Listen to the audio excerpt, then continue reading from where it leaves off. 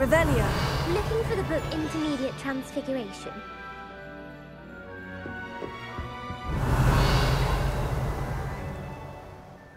Professor Weasley asked me to, uh, get something from that book.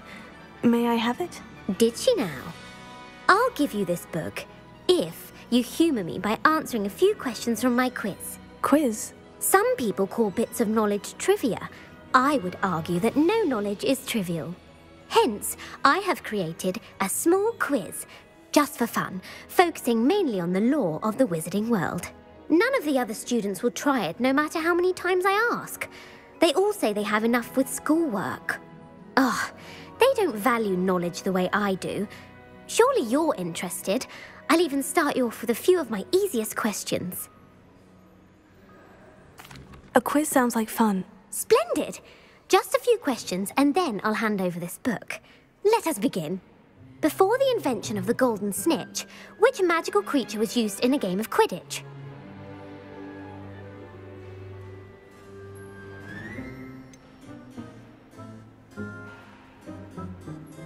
The Golden Snidget. Correct!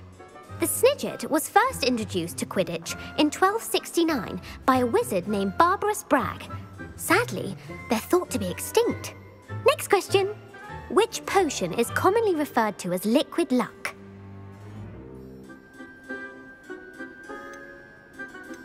Felix Felicis. Well done! Since it makes the drinker temporarily lucky, Felix Felicis is a banned substance in all organised competitions. The tale of the three brothers involves which magical artifacts?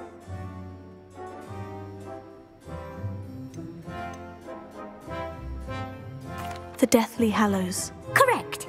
According to Beedle the Bard, the Deathly Hallows consists of the Elder Wand, the Resurrection Stone, and the Cloak of Invisibility.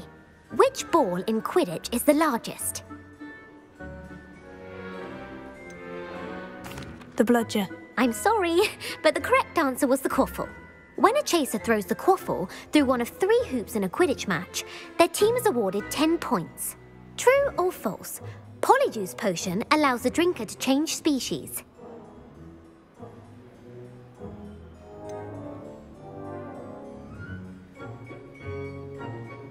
True. Actually, the answer was false. While Polyjuice Potion can be used to change things such as age or race, it cannot be used to change species. Well, I suppose this has gone on long enough. I'll put the book back on the pedestal now. If you're inclined to test your knowledge again, I have plenty more questions I could ask you. And I won't be giving you any more easy questions either. The next ones will be more difficult. I don't have time for a quiz at the moment. Let me know if you change your mind. I put the book back on the pedestal for you. Revelio ought to make quick work of this. Revelio. Professor Weasley's tasks are complete.